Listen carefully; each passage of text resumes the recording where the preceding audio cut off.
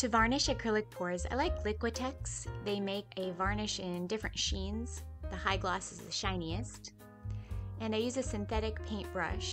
The bristles never fall out and it leaves a pretty smooth finish.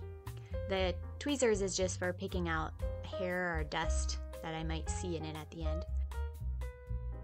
You want to start with a clean canvas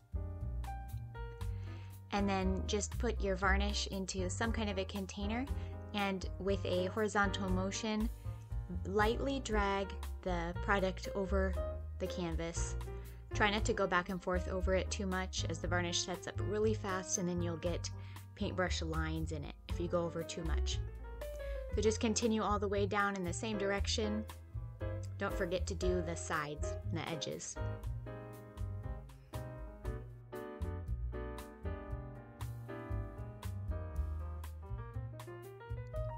Now I'm just scraping the drips off with the popsicle stick. And tomorrow when this is dry, I'm gonna go over it again in the opposite direction, perpendicular to the one I did first. And I'll do two to four coats. Don't forget to wash out your brush, and you're good to go. Thanks for stopping by today. This has been Acrylic Pouring Academy, quick answers to all of your fluid art questions. Hope you have a great day, subscribe for more videos, and I'll see you in the next one.